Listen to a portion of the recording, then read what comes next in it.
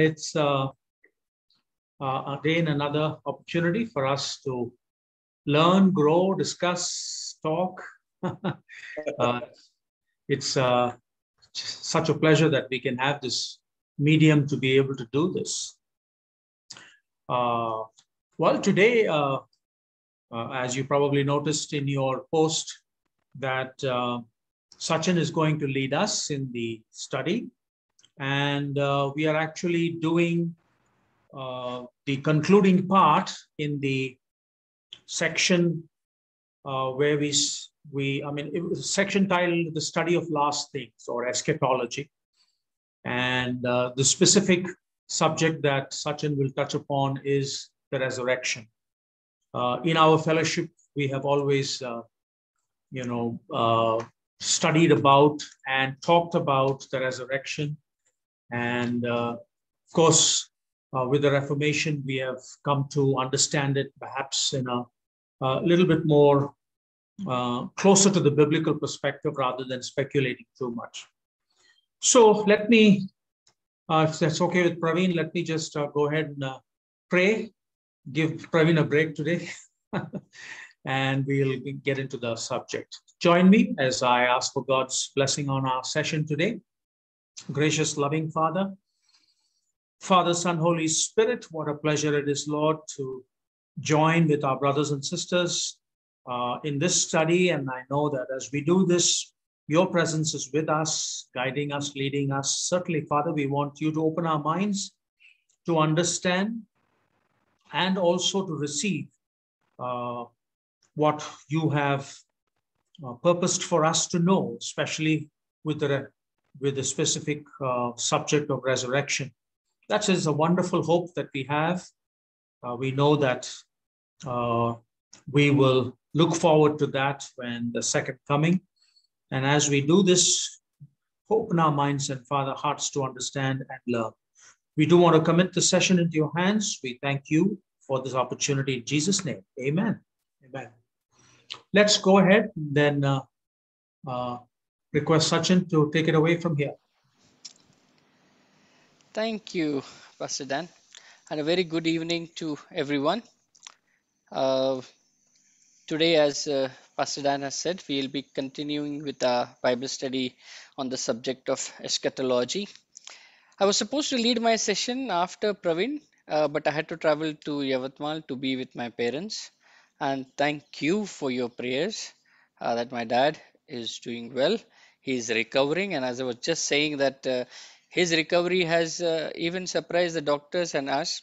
And he, in fact, uh, talked with me and Anna on Sunday. Uh, that was a pleasant surprise.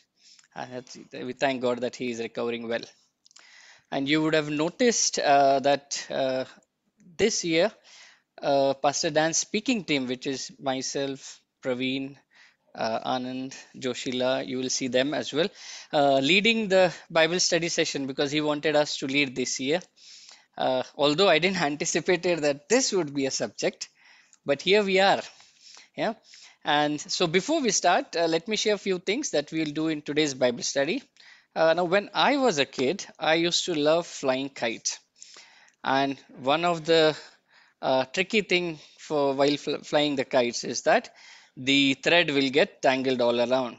And then I would need my dad's help to sort it out. And while sort it out, he had one practice. He would always hand over me one end, then he will give me one something to hold on, and he will say, "Hold it on," while I am, I am sorting it out. And then, as he would ask me, I'll give him that particular part, and sooner or later, we find the thing sorted out quite well. And we'll use similar uh, things today. We'll hold on to few things as we go through this session. Probably we hold hold on to verses, uh, stories uh, as we go along uh, and then we'll try and connect uh, as it comes. Now let me summarize all the three sessions because they are interconnected to each other. Uh, Praveen led us in part one, that was the second coming of the Christ. Uh, Christ is coming back to earth so that he can dwell with humanity forever. That was the core, dwelling with humanity. Then Pastor Dan led us into judgment, where we saw it's about restoration. And then in the second session of Pastor Dan, uh, we talked about universalism. And when I was, um, of course, I had to go through the YouTube session. I couldn't be part of it, but there were many part where I felt of unmuting myself and say, and then I realized it's a YouTube one. So, so it was that engaging. So, well, in the universalism, we saw that uh, we saw what is GCI stand and we saw what is the right thing. And we also saw that in universalism, people think everybody will be saved, everybody will get a second chance. And Pastor Dan was able to clarify that.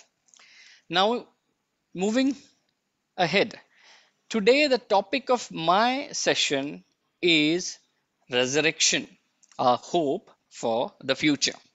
Now, we'll have a following approach in our study today. We'll refer some Bible verses about the resurrection and we try to understand more about it. Then we'll see how other people have interpreted these Bible references. We'll also see what is GCI stand.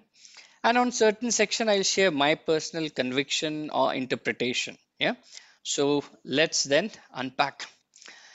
Before we jump right into resurrection, I think it's more important to see what leads to resurrection. And for that, allow me to share my screen because I have so many verses to share and then it would be better if I can use PPTs then I don't have to read all of them. Okay.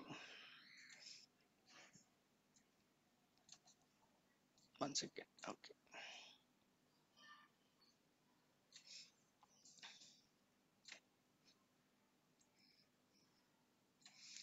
okay perfect okay yeah now I want to start off my study from here. Genesis chapter 1 verse 26. And then God said, let us make mankind in our image and in our likeness. That means we are made in God's image and we have his character in us.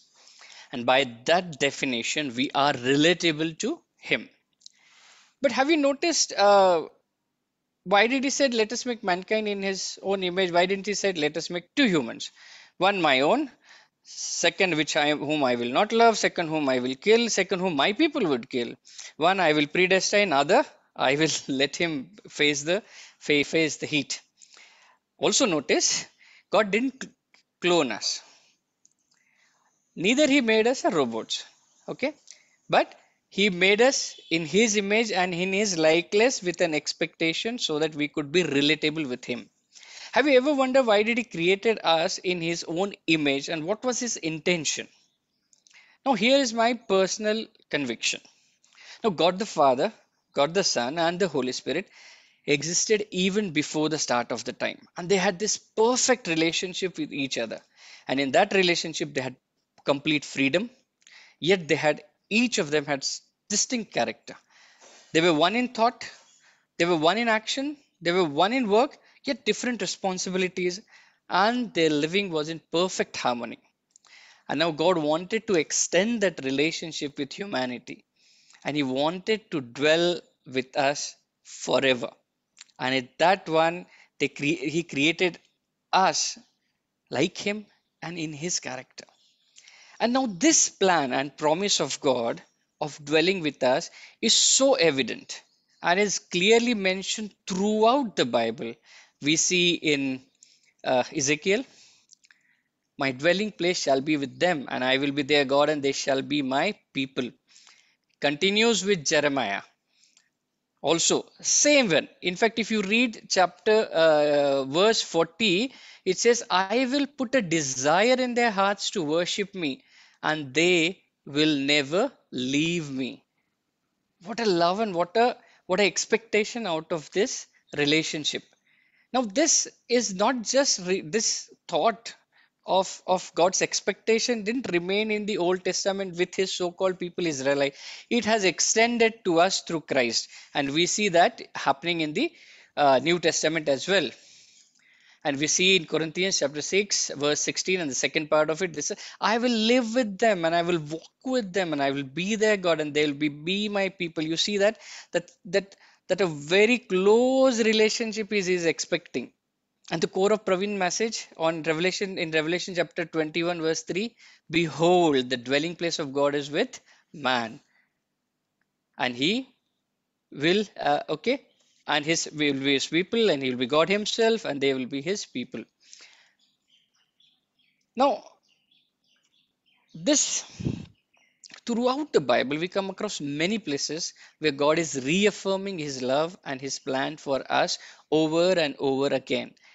In fact, this has been always God's plan for the entire humanity. It covered His people Israel, and then later it extended to entire humanity through Christ.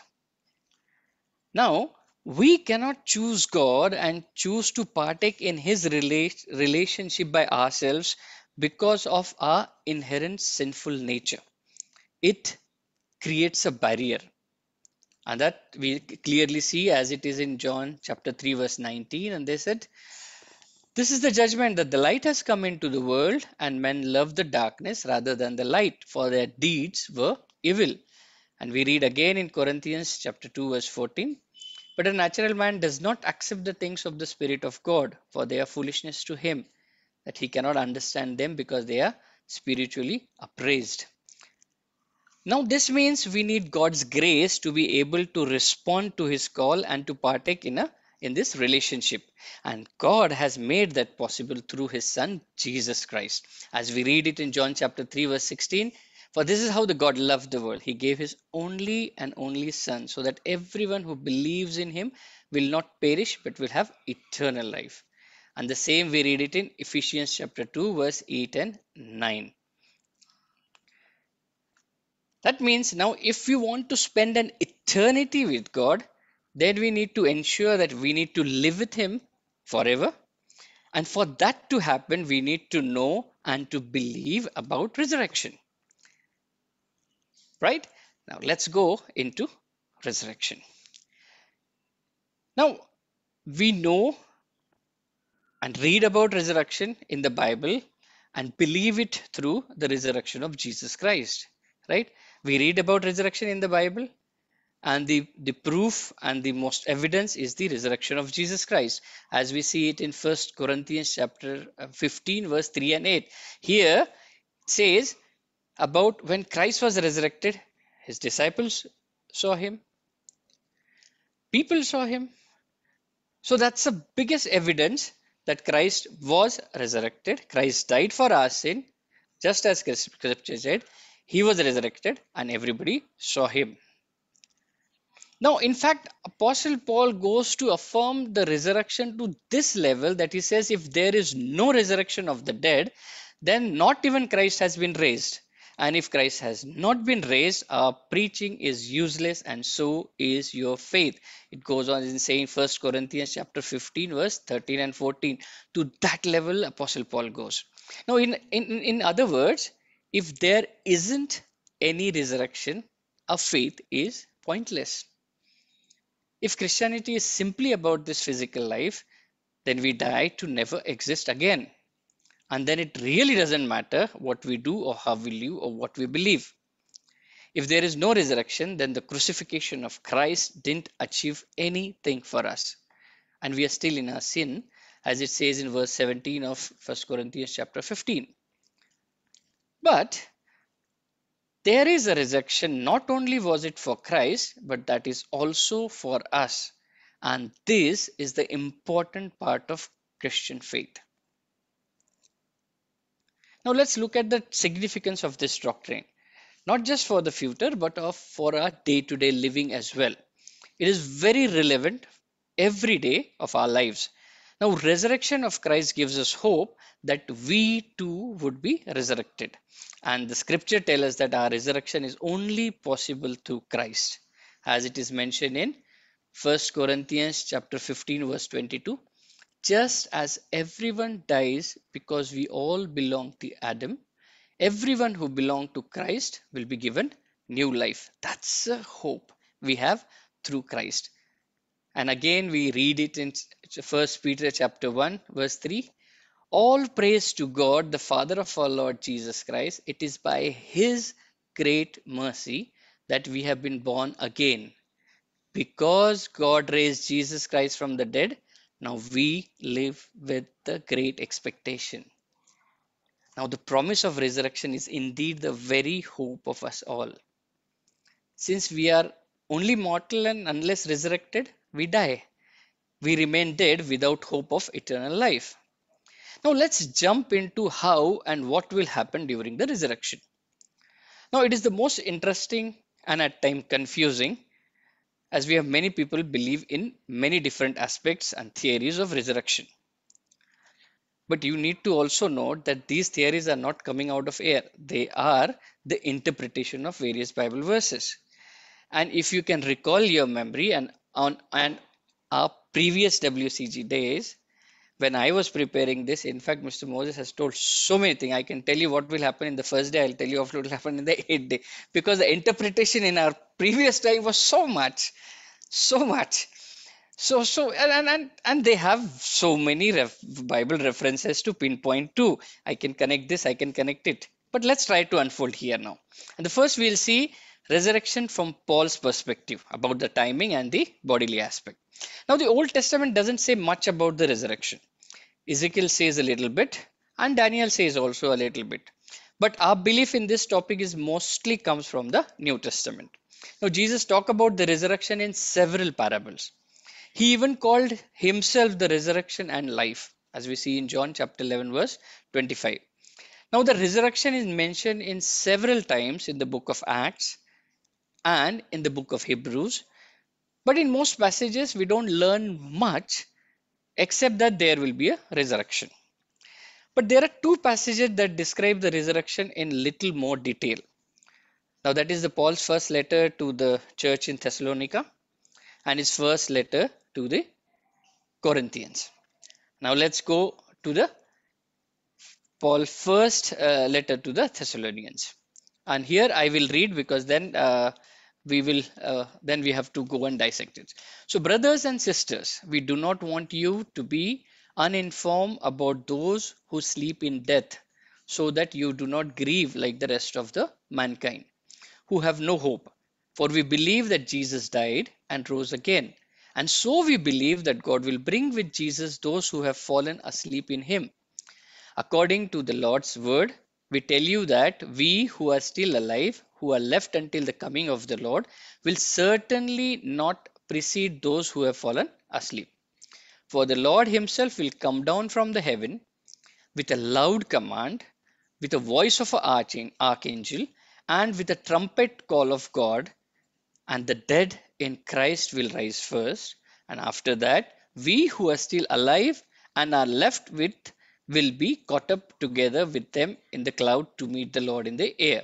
And so we will be with the Lord forever. Therefore, encourage one another with these words. Now, Paul isn't saying much here about the resurrection except its timing. What is that? There will be a resurrection, and the reason we know that it is because Jesus, the example of true humanity, was raised from the dead.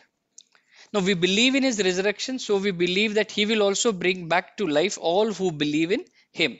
And this will happen when Jesus returned to earth. So it is about timing. Second aspect Christians who have died will rise, and those who are alive in Christ will be changed and will rise in, into the clouds to meet the Lord as he returns, and we will be with him forever. So, so this aspect talks more about the timing right? What will happen? Now as we go further in first corinthians chapter 15 from verse 33 to 50 paul goes on to more detail explaining that not only there will be a resurrection but he also comments briefly on what will be what we uh, our state will be the our what our resurrected state state will be. Which means first he compares the resurrection to the planting of seed the seed look like a seed but a plant that grows from it looks quite different depending on what kind of seed it is as we see it in verse 37 and 38 uh, here uh, in verse 42 to 44 he says so will it be that the resurrection of the dead the body that is sown is perishable it is raised imperishable it is sown in dishonor it is raised in glory. It is sown in weakness, it is raised in power. It is sown in natural body, it is raised in a spiritual body.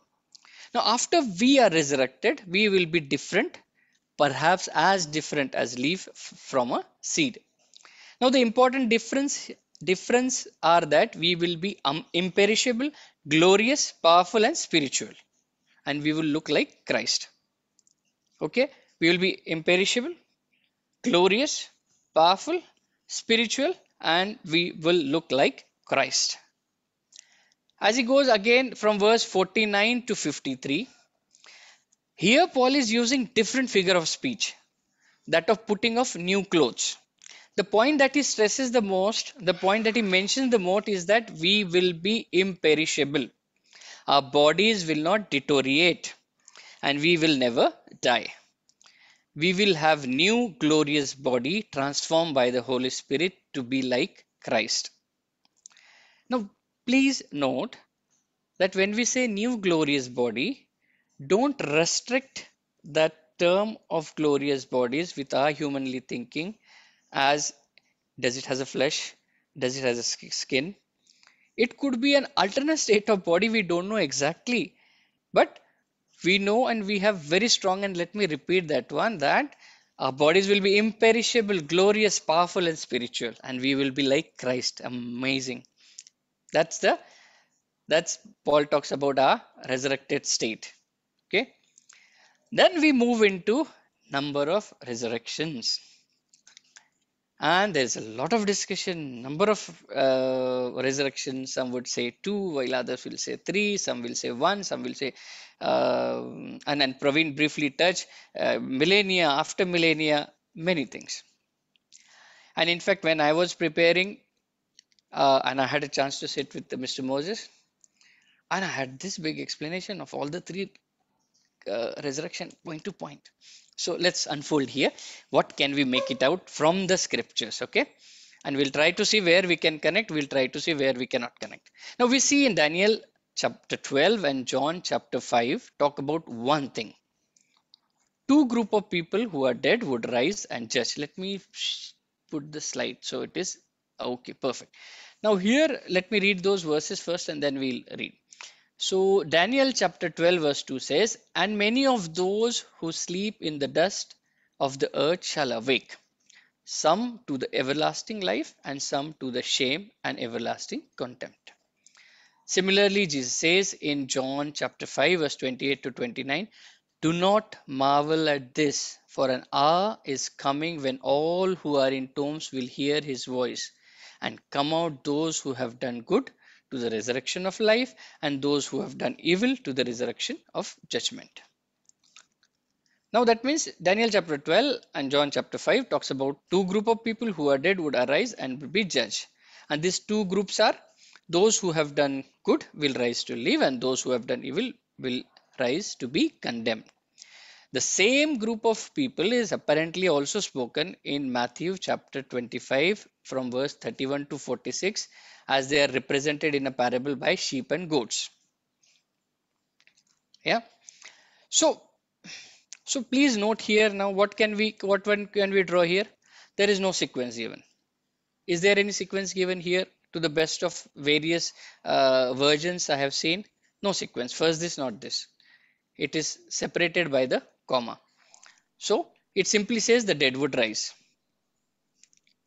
Now, actually, all the references of the multiple resurrection come from one place. Revelation chapter 20. Let me move now. And let us read and then let us unpack and let us connect. And here Apostle Paul says, Then I saw thrones, and the people sitting on them had been given the authority to judge. And I saw the souls of those who have been beheaded for their testimony about Jesus and for proclaiming the word of God. They had not worshipped the beast or his statue, nor accepted his mark on their forehead for their hands or their hands.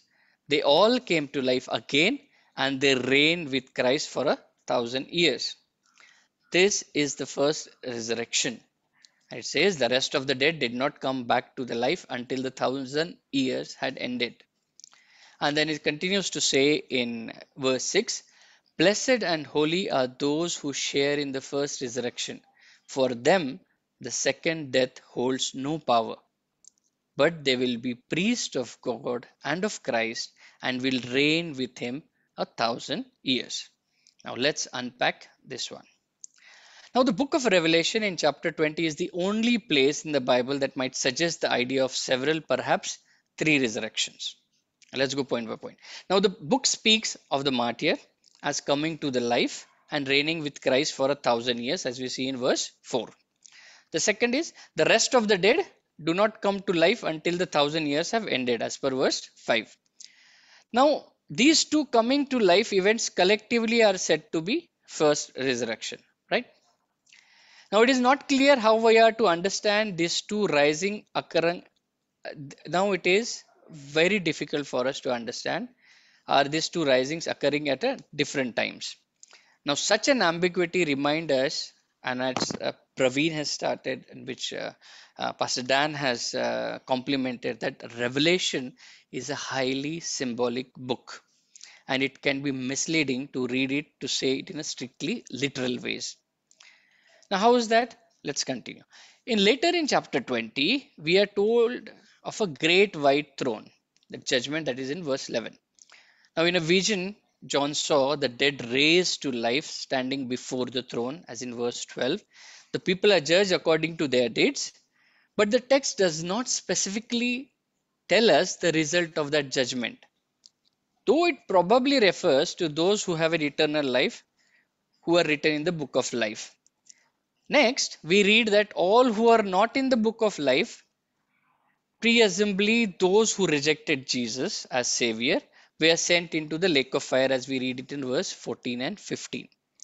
Now, this could be the same judgment to which Jesus referred, in which those who have done good, he says, will rise to live eternally, and those who have done will rise to be condemned, as we read earlier in John chapter 5, verse 29. Now, this all fits with the earlier verses in Revelation 20 that speak of what appears to be first resurrection, but in two part is not clear. Yeah, let me repeat. Now, how all this fits earlier verses in Revelation 20 that speaks which appears to be the first resurrection in two part is not clear, right? The first part has two, but it is not clear. It is dangerous to base a conclusion about any sequence or number of resurrections solely on the few verses that we see here in uh, Revelation, which was actually written as, as a book of symbols and metaphors. And it is always not in the chronological order. So then what do we take it? How do we take the resurrection? And as I move towards the concluding part, as we now put various threads which open, now we'll start to uh, put together. And the first, this thing is the resurrection. Now, the idea of three resurrection is too specific, but the main point regarding God's gift of salvation in Christ is the truth. That is the main message. God's gift of salvation to humanity through Christ. God will ensure that everyone is given a fair opportunity to hear and respond to the gospel of salvation in Christ we have seen it in uh, this discussion uh, as pastor dan led in judgment and later in universalism also during the q&a session. Because we were taking those who did not had a chance to hear about the gospel and had a death we just saw that that could be one of the state but how god would work we don't know. And why because we believe in John chapter 3 verse 16 for God so loved the world that he gave his only and only son that whoever believes in him shall not perish but will have eternal life. And we know that God is just fair and merciful. Now no matter how he unfolds the future that the prophecies of the bible shows it will be good and right for everyone that we know. Because he has a he desires in the last week he said he desires for no one to be lost. That's his desire. So what can we do? We should not be dogmatic about the successive resurrection time periods and number of resurrections. Instead we should emphasize on the fairness and love of god that there is a resurrection and that all people who ever lived will have an opportunity to stand before our Lord and believe in Him for salvation. That is the greatest hope we have. How God will make it happen? Let's not put our humanly understanding to the interpretation of the verses. God will make righteous provision of every person to know and accept the gospel. He will give allow them to respond. As we last week we have seen, the, the responding is on to the person. But the exact timing, how that provision will happen, we cannot be dogmatic about the same. The second point I want to bring in Him we have life. Now, today, throughout my message, we have we have read in him we have life. Those in christ will have eternal life. Those who are in christ will live and will have eternal everywhere we see and we also saw that in in where here okay. We also saw that in acts chapter 17 verse 20 uh, 28 where it says for in him we live and move and have our being. In him we have life. Now have you ever wondered is abiding him abiding in him or being in him is it a one time affair and a free ticket for rest of the life or is it a everyday every moment process is accepting Jesus our Lord and Savior, is it a one time event and then take grace for granted and then live an everlasting life? Perhaps my personal conviction is no. Abiding in Him is a continuous process we are and we need to do because we cannot be righteous on our own. We need Jesus' redeeming blood to wash us from our sin so that it enable us to be in communion with Him and that is why uh, we we do the communion. For it says first corinthians chapter 11 verse 26 for as often as you eat the bread and drink this cup you proclaim the lord's death until he comes until he comes. Until then we need his blood to redeem us because we on our own cannot be righteous. We cannot abide in him. We need him. And that's why he says until he is coming and then he will be with us forever. But how are we supposed to act while we are on earth? Now, please understand while our focus is on the resurrection, I am tying up why, how to finally the two because we have seen the two, it is glorious, but we are seeing from the why to the two, I need to connect. So, how do we act while we are still on the earth? And Romans chapter 6, verse 17 to 8 gives a perfect this thing. But thanks to be thanks be to God that though you used to be slaves to sin, you have come to obey from your heart. And now connect back to uh, Jeremiah. He says, um, I will make them serve me. I'll make them love me. So we have accepted it from the heart. The, huh? So let me continue. Obey from your heart the pattern of teaching that you has now claimed your allegiance you have been set free from slain, uh, sin and have become slaves to righteousness. We should strive to live righteous, and that is completed by His redeeming blood to be in communion with Him. That should be our everyday as we wait for our uh, resurrection. And, this, and the third and the final thing God is a God of possibilities, not certainties. I liked it so much when Praveen over and over he takes and I said, okay, let me take it and stretch it more further. Now, let me tell you why. Now, we as a human, we love certainty. Now, if you ask Praveen, Praveen, what's your plan for tomorrow? He'll say, do you think he will answer, I don't know, tomorrow will come, but I don't know what will happen tomorrow. No, we humans love certainty. Oh, I will get up, I have to do this, I have to do that, then I have to do for that if you ask he will have a plan for his next 10 15 years. Because we human we love certainties. We need to have our tomorrow sorted out. We need to have a clear in everything right? But with that attitude sometimes we try to limit god. We try to limit his being. We try to limit his knowledge and his functioning through our limited knowledge.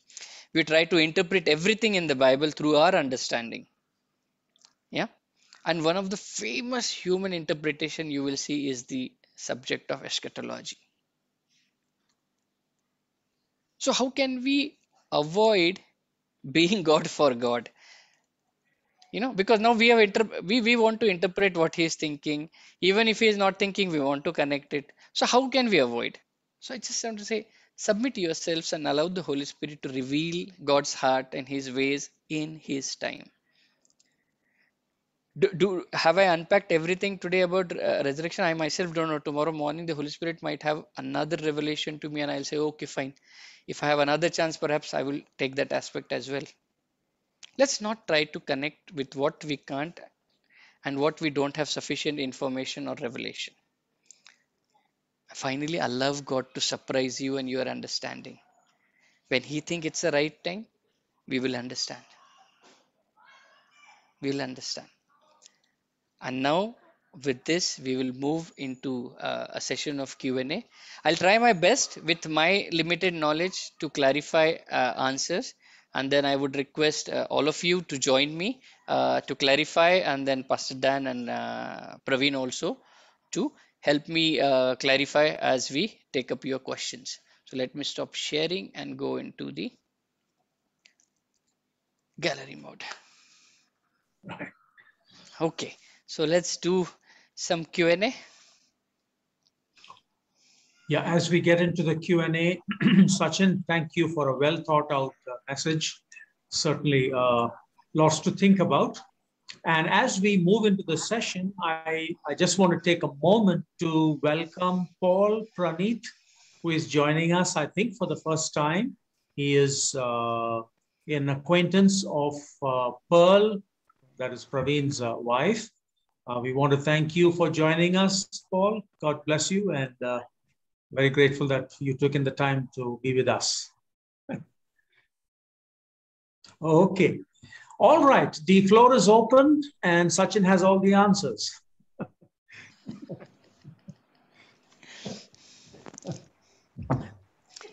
Anil, Yes, go. Anil.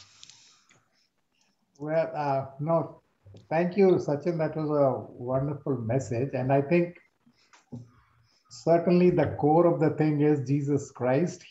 It is through his blood that we have salvation, and that's what we should be concerned about.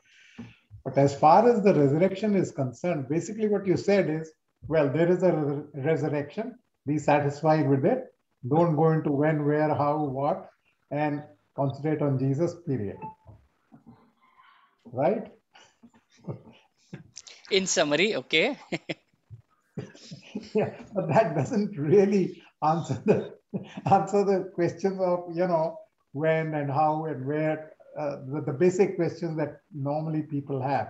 And of course, one of them is how many resurrections will there be a physical resurrection? Will there be a yes? Well, you did mention that there is a spiritual body which could be a glorified body, not necessarily. So, but the main aspect of the, the questions probably which is which I keep worrying in our mind is how many resurrections and the timing of it. But and that uh, probably uh, the Bible isn't very clear, and so we should not be speculate, but at least we should be able to infer as from various passages what it could be. I mean, you, you summarized very correctly, and let's try to put what do we know for certain? Which Praveen has started the session saying he is coming back for sure. He is coming back and he is going to resurrect us for sure. No question. No question about it. So we know the timing when he's coming. We are going to get We resurrected. don't, we Okay. don't know the timing. We don't know the timing. We don't want to know the timing. But when it's the right time, you know, he will he will come. But and secondly, how the am I going to be the one who would be resurrected? Because the one question that if you have seen in the past three weeks is we believe that everyone would be judged. Then we also read it in the Revelation chapter 20 in verse for, for verse 6 also that those who have uh, raised first will avoid the second death. And we have seen through uh, pastor dan also how that judgment we uh, are we avoiding judgment? Are we are we are we justified through the blood of christ? We have seen how how that has also beautifully unfolded right? How the judgment is going to be unfolded for us and how the chance of those who did not had a chance to uh, receive uh, the salvation or hear the salvation will get approximately how that will get. Because if you go back to our uh, previous thinking right we would have probably say that in when we are got up when we are living with christ for the first thousand year that is the time when we'll tell everyone how to live. We will uh, we will rule those who are alive right? Remember all this thing? Then we'll teach them. And that is when after thousand year then devil will be released. Then everybody will be tested apart. But there are no other significant things to connect to. But one thing we are definitely doing that is because then that is why i started my this thing is if you have created a human being with your own image and in your own likeness it is very difficult for me to see that. Let us assume uh, i have not come to know the salvation it's very difficult for me to believe if that is the case you have created a humanity then you will miss out the entire chunk. Is a very difficult thing to to to miss it because that this cannot he cannot deny himself which is his nature right? His nature is love and that means everybody is coming how it is coming unfortunately we are not able to fill fill fill in the blanks and put the timings or so. Agreed and the, the, another thing connected with the resurrection is this uh, so-called rapture right? I mean you know the, the, the church or the saved will be you know whisked away that what corinthian first corinthians 15 mentions not corinthians thessalonians i think says that we'll be caught up in, in the, air, air. yeah to be with christ. And that's what people interpret as the rapture. So I, again i don't know whether you know there is actually going to be a rapture or what but what do these uh, uh, passages then indicate so I'll add and then I'll uh, let uh, Pastor Dan, Praveen, and others also add. My, my interpretation I'm adding, right? We need, there has to be, uh, whenever Christ come, that there going to be a time that those who are believing in Him are going to be alive. Probably not everybody died, right? And then only is coming. so, and and His promise is true that those who are in Him will have an eternal life so those by that living, and that's what Paul says that they will be raised up in, in a body which he also explained what could be those things in a glorified body, they will be raised up. Now we have also seen in the last two weeks of study whether that raising up with the Christ is it connected with the thousand years of living? We don't know. Whether that connected in the air is it heaven? We don't know. But what we know is that if we happen to be those living one, we also will be with Christ. Mm. And I think that's a very good hope uh, uh, to, to our children and their children and their children whenever that happens.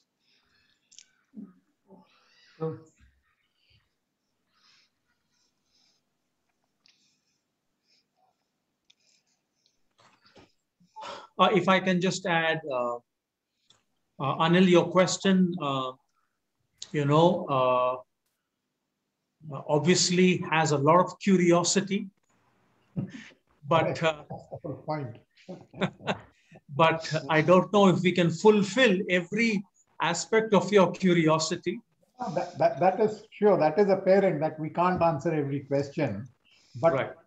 at, you, you know what I'm saying. That's fine. yeah. So what we can do is uh, we can speculate and not speak dogmatically because we don't want to say something which we are not necessarily very sure of, right?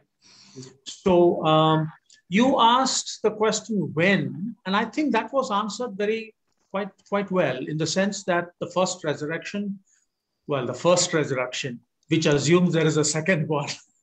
That's the one. but, yeah, but uh, but we we we are not um, certain about you know, uh, whether it uh, it alludes to a second one, right? Right. I mean, right. it talks about the thousand year reign, necessarily allude to a second one, or is it talking about a, a another aspect of the resurrection? One is those to life and those uh, to judgment. You know, so I'm not sure uh, where what what exactly that it would refer to. Mhm. But if we are in the first resurrection, why bother about what happens next, right? The main thing is for us to be in that first resurrection, if there is a first one, right? So, um, uh, uh, just a word about the rapture, and this is uh, once again another very contentious uh, uh, topic. Yes. Uh, I think in the past we used to preach a version of the rapture where we said that Christ will come and uh, take his church to a place of safety. yeah. And he also said it will be for three and a half years. And I think if some of you uh, remember, we also said where it will be. Petra. That's correct, in the mountains. And uh, uh, well, we won't say much about the mountains because we know where who the, who lives in the mountains, right? so, but the apostle in Corinthians says that Christ will raise up the dead. They will rise up to meet him in the air, and it says that he will return. They will all come, and the earth is the destination, right? Yeah. So it is not a secret place. So once again, we don't give too much uh, credence to this rapture as preached by some who say that we will be in heaven with him and then we will come back. Uh, once again, we do not have scriptures that necessarily nail it down to those specifics. So I'm going to leave it broad in that perspective.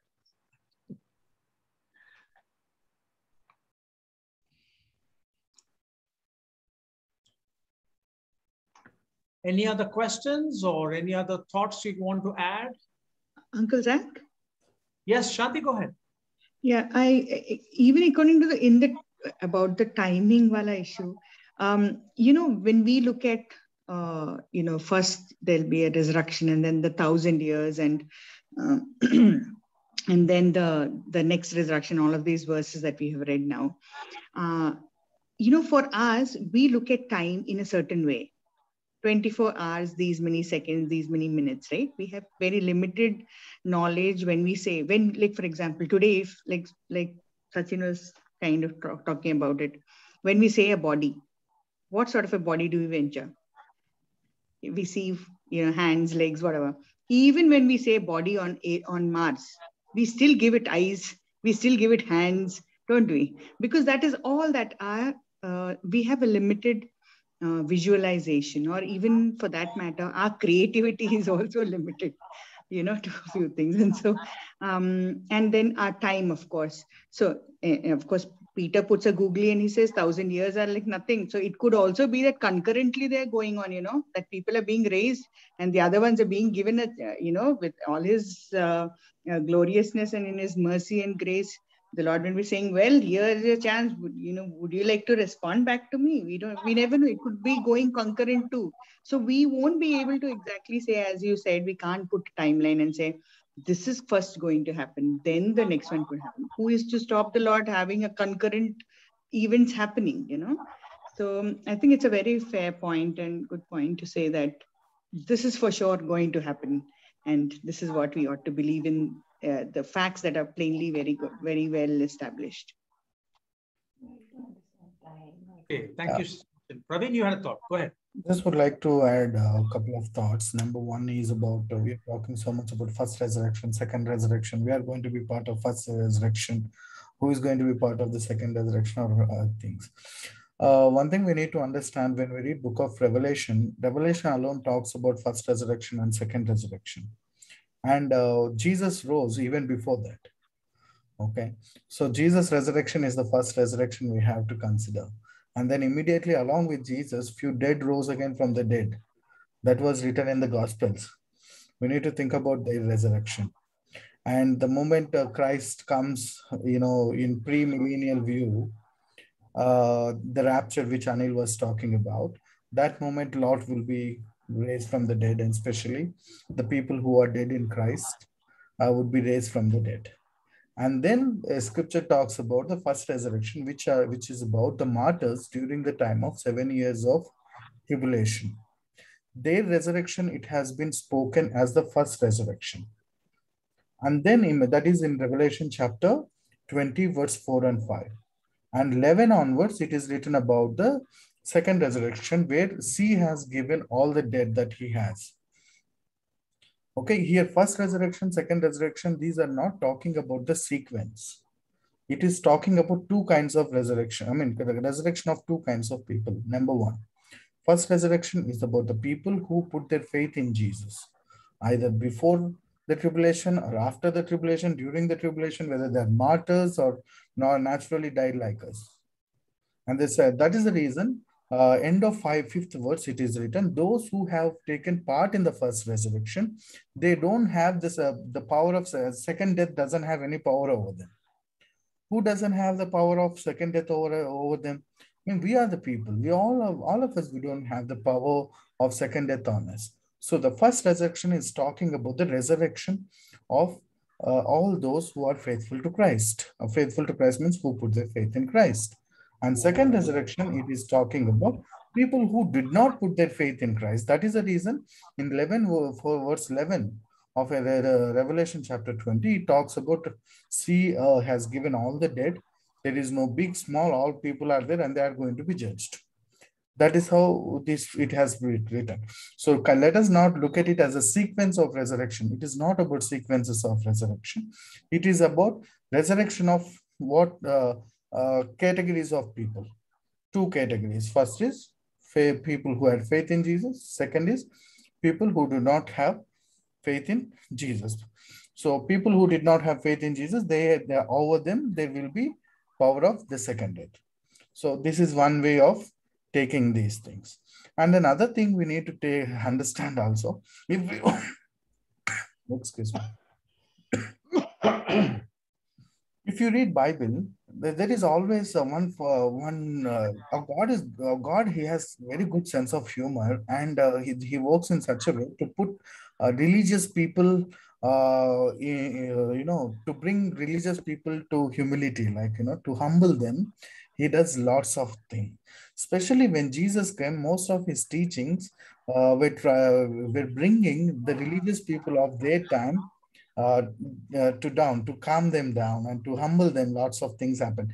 One of the major things Jesus, uh, sorry, happened in Jesus' life that calmed all these so-called Jewish religious people is the resurrection of Jesus. The Pharisees, Sadducees, Herodians, all the politicians, they said Jesus is not who he is claiming to be. And they said he, he wrongly, he's blaspheming, his teachings are wrong, he's uh, doing things by devil's work. So through resurrection, he humbled all of them down. Number one. So number two, uh, John is writing this to whom?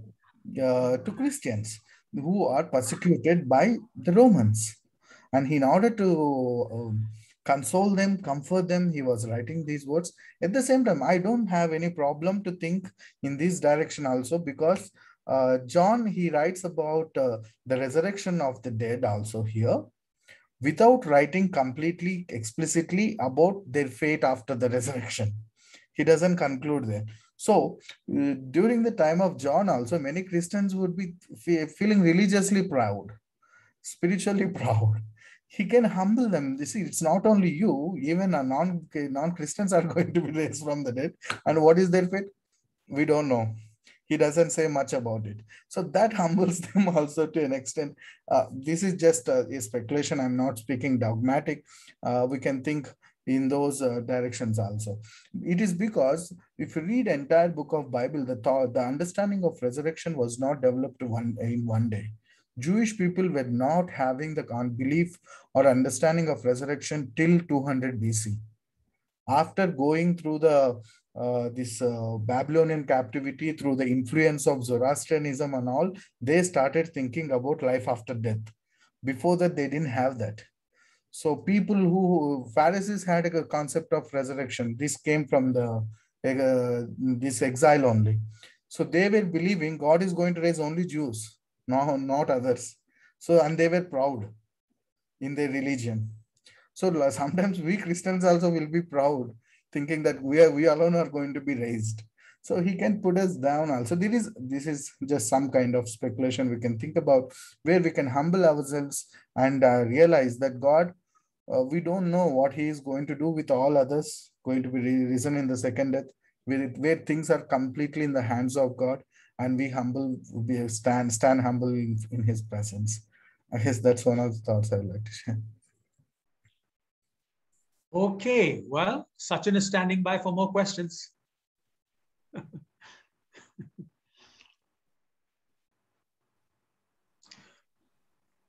While you're thinking, uh, Bertram, you had a question? No. Okay, okay. While you're thinking, um, there is one question, perhaps Sachin, you, I don't know if you'd like to touch upon it. It is actually from our uh, booklet, uh, where it says, what is now, what happens to people between death and the general resurrection? Uh, the physical death and the resurrection. What happens to people? Yeah, was supposed to be one of the one more thing I'm supposed to add. So let me take that one. Yeah. And one thing also I, I wanted to add, uh, which I somehow skipped my mind.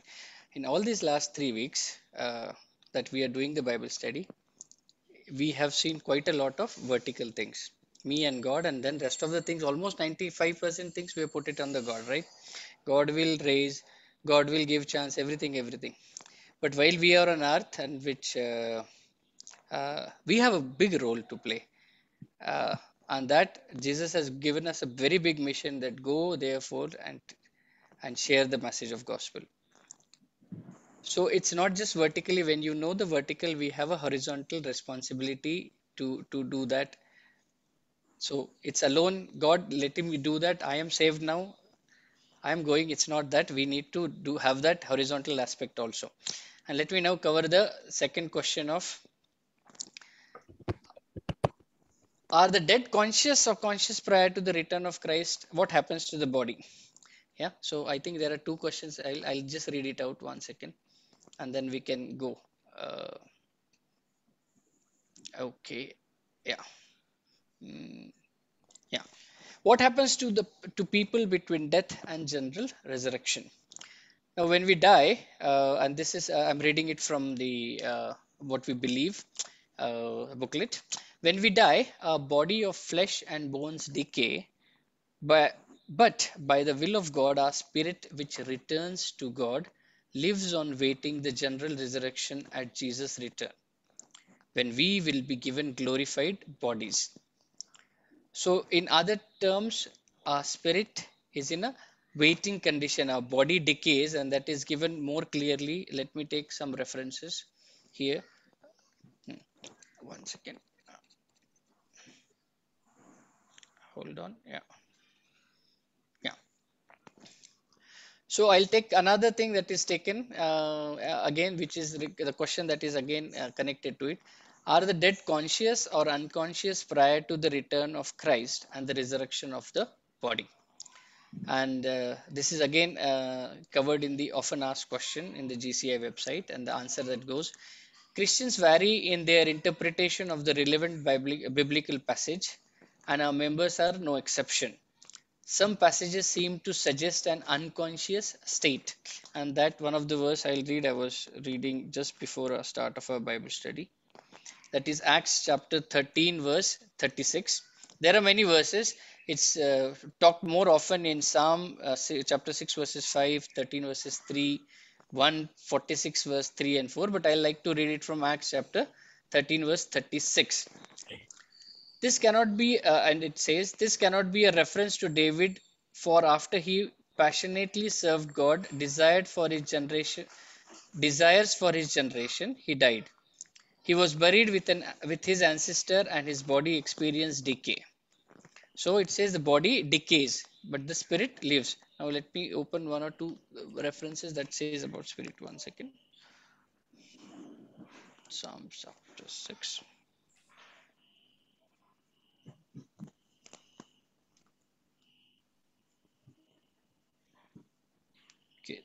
Psalm chapter 6, verses 5 also talks about how can I be good to you, dead? For those who are in the grave, graveyard sing no songs. In the darkness of the death, who remembers you? How could I bring you praise if I am buried in the tomb? So that again talks about the dead body, but the spirit uh, being uh, spirit in an unconscious state.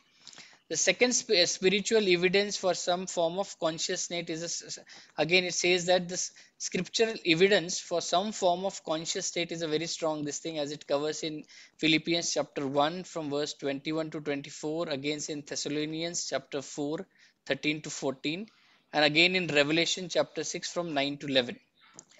Certainly the body dies and decays, but the passage indicate that the spirit, which is our soul, of believers is consciously present with God.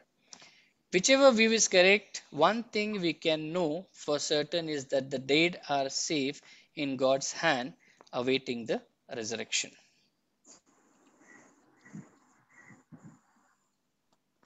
like to add anything, Uncle Zach? Uh, yeah, I think uh, the question once again is whether the spirit is conscious uh, or not. And I think you answered that. Uh, we are safe in God's hands, basically. Yes, Bertie, go ahead. Uh, I think it's uh, very strongly mentioned in Catholicism and possibly other religions also that when the dead, uh, the righteous dead, as they understand, will go to heaven immediately on death and live on there and whatnot. And uh, uh, and uh, you know the incorrigible wicked uh, you know will uh, will be in hell. What is this? What do they understand by even now? uh, they mention about uh, you know uh, life in heaven. I think uh, Catholics uh, and many uh, probably other religions strongly mention about after death they go to heaven where they are living. Mr. Zachariah, could you throw some light on it? See, that is the general explanation given by most faiths that when you die, you will go to heaven and you forgot to add that they, they will be playing a guitar or maybe a harp. so we don't know. Or, uh, of course, there'll be other pleasures, you know. Yeah. Once again, we are getting into speculative speculation. Yeah. There is nothing in the Bible that we can point out to that says any of this. And uh, like I said in the past, many a times, when God is silent, it is best to shut our mouths. because you will be unnecessarily saying things which uh, God has not uh, inspired to be recorded in the scriptures. but uh, right. Anil, yes. No, but in a way, when you know, the Bible says the body decays, but the spirit goes to God. So, in a way, after death, we are with God, isn't it? Whether in heaven or you know in purgatory, I don't know, but we are still with God. So to that extent, it's correct, right? Yes, I think that's what uh, Sachin very clearly, the, the yeah. passage no, is very uh, Bertie was mentioning that they believe that we go to God in heaven. So yes, our, our spirit goes to God. And in that sense, uh, after death, we are with God, right? Yeah, not only going to God, you're right, uh, uh Anil, but uh, living in heaven. well, I don't know. What do you mean by living? I mean, partying and all that kind of thing, or what? yeah. They forget the they forget the earthly reality. As Scripture says, the, the Lord will come down, and we'll be kings and priests uh, to serve our Lord and and Father, and we shall be with Him evermore. It's down here. Yeah once again, I think let's stay uh, stay close to the Bible. The Bible says that the Spirit returns to God. Now that's all it says. Yeah. It doesn't say anything further. It returns to God. So basically saying we are safe in God's hands. Whether it is conscious, not conscious, whether will there be a reuniting of, uh, of the body and the spirit or a, a, new glorified body? Well, these things, you know, we can keep uh, arguing about. Catholics also mention about a intermediary uh, state, purgatory. Catholics, uh, I don't know how, how how they get from where they get it from. Uh, I do not know. Yeah, well, we'll leave it at that.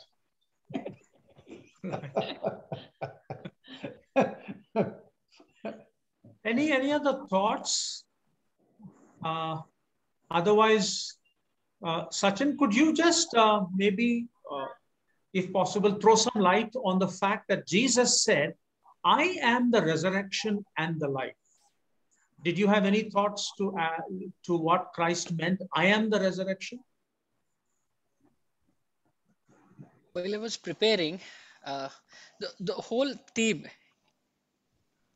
is is around Jesus. In abide in Him, in Him we have our living, our soul, and in in Him we have everything, and that being in Him, He Himself, uh, what can I say?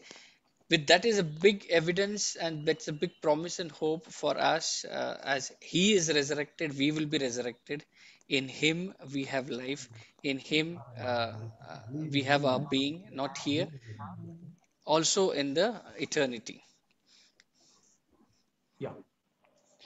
Yeah, I think that's well said. Praveen, you want to add something? Okay, right. Yeah, I think, uh, yeah, Christ, uh, it is in him we have the resurrection. And so he becomes our resurrection because he was himself resurrected. And we are almost like, you know, in him uh, as he takes us in you to, to be united with the Father.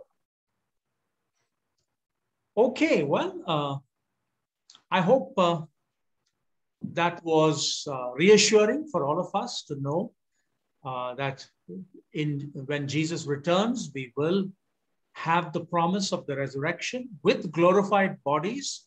And so we have some of the answers, but of, obviously there are many more that uh, we will have to wait to see how it will unfold.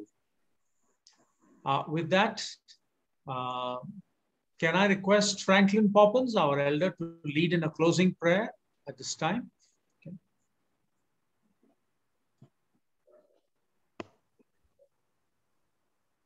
Yes. So can you hear me, sir? Yes. Yes, sir. Uh, one thought, sir. One thought. If one of if one of you all can throw light, the basis of our of our resurrection is Christ's resurrection. Right. The foundation of our resurrection is Christ. Am I correct, sir? Because Okay. Uh, Christ rose from the dead, you and I will be raised. Sachin, you want to add something to that? That's a hope. That's the only evidence we have. And based on that evidence, we have everything to hope for. Nothing else. Yeah. I had one simple thought actually. The moment we think about eschatology, second coming of Jesus, we want to know more details and more things with certainty uh, when it is going to happen, what is it going to happen, and what is going to happen to Christians, what's going to happen to non Christians, or these, that, and all we are going to talk. Uh, we call it eschatology. Karl Barth, uh, in, in his perspective, he calls it the doctrine of hope eschatology. He doesn't call it the doctrine of end times or last things. He calls it doctrine of hope. Uh, how many of you would like to have hope? I guess I guess all. All of you like to have hope. You know, if we are certain about something in the future, then it is no more a hope. If we are certain about something in the future, we are it's no more a hope. You our hope. So if we have, if you want to have hope, we should be courageous enough to be uh, in the realm where, uh, uh, or we should be co- courageous enough to join the club of Jesus, where we accept to say that I don't know. That's a great thing about uh, these. So, if we want to find all certainty answers with certainty, then uh, we won't have this hope. So, our hope for future is not about the things that are going to happen, what God is going to do also, our hope lies in Jesus. That's what very in simple words, when Jesus said, I am the resurrection and the life. He is the life himself. So our hope is in somebody, not in in his uh, timeline or interpretation of prophecies or any other. So our hope is in Jesus. So he always puts us into, uh, he, he opens doors to infinite possibilities, as Sachin said. So we should keep our minds and hearts open for that. Very good. Yeah. Thank you. Uncle, if I may add, I uh, is that okay? Yeah, Yeah. Paul, go ahead.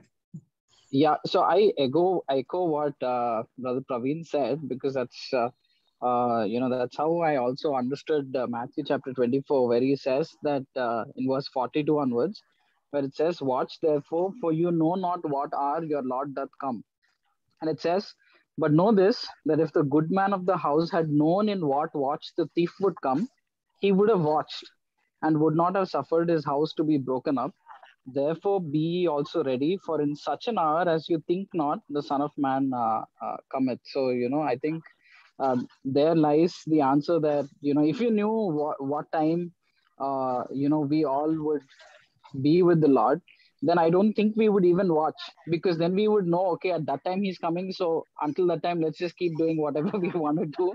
And then at that point in time, you know, buckle up, dress up, and everything, you know. So, uh, yeah so I, and and i think it's uh, if i'm um, correct me if i'm wrong but i think this is also called as the uh, doctrine of imminence where you know you don't know when he comes and uh, you just uh, are always watchful so it's not a uh, watchfulness where you're waiting on a particular time to come but you're always passively watching and you're always like constantly being ready yeah so these are just some of my thoughts Thank you, Paul. I think uh, those are some uh, very good additions. I think what we can conclude with all that, what you have said and others have said, our eyes must be on Jesus, not on anything else. Our eyes must be on Jesus. He is finally our hope, and He is the evidence of everything. On that note, Franklin, could you please lead us in a closing prayer? Gracious Father, our loving Lord in heaven, we bow our heads, Lord. Thank you, Father, for this wonderful opportunity to meet here on this virtual platform and to learn. Thank you, Lord. Thank you, Lord, for being with all of us and giving us a heart to learn and to grow in your grace and in the knowledge of our Lord and Savior. Thank you so much, Father. Thank you, Lord, for all this, the for all our panel of speakers who help us in understanding and uh, helping us to learn more. Thank you so much. Lord, if we have hope in this life only, then, as the Bible beautifully puts it, we are men most miserable. Lord, thank you, Father. Just as Christ rose from the dead, Lord, you, and, you are going to give each and every one of us the opportunity to be resurrected and to be glorified with a heavenly body. Lord, thank you, Father.